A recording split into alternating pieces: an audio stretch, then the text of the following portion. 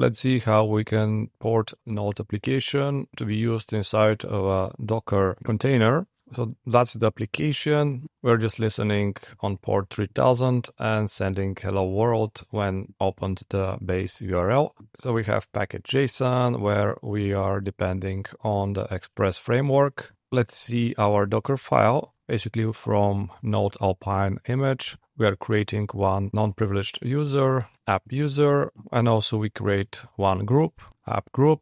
We add the user to the group. We set a default shell we don't require password for this user. And then we create the directory app inside of our container. Afterwards, from our local directories, we're copying package.json and package-lock.json into the container. And we are installing everything that's contained inside of uh, package.json in the container. The last two steps are that we are copying everything from our local directory, in this case just the index.js file, into the app directory of the container. And we switch to the app user, so everything will be run from this user inside of the container. Now let's see the Docker Compose YAML file. We are building one web service where we are watching our index.js uh, file for changes if it's changed. So if we are changing something on our local drive, immediately the changes will be reflected inside of the app directory in the container.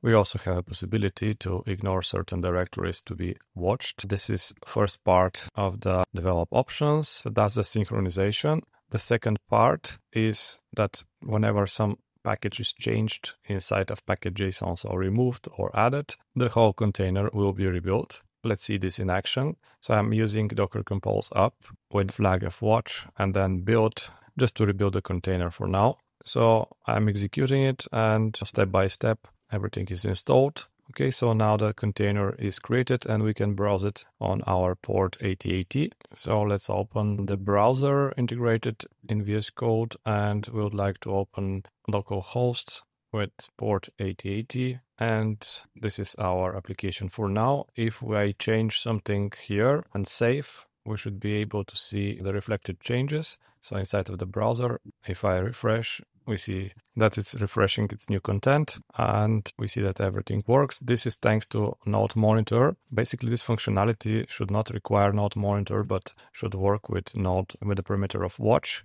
But for now, since we are using the WSL, it's not yet implemented fully. Of course, in this case, in the Docker file, we don't need to install a Node Monitor too. Now let's see the second action, rebuild if we go to package.json and let's say we change some of the versions of our uh, dev dependencies here, the express version, and we click on save, immediately we see how it will be rebuilt and then restarted our container with a different version of express and that's very handy. In case you're using the WSL for achieving better performance, it's recommended to move your project out of the Windows default directories, but directly inside the Linux directories. So here I'm inside of my home directory. This can improve the speed of hot reload and other file system operations. Of course, you don't need all the time to rebuild the project, so Docker Compose up minus minus watch is enough to look for your changes in the code and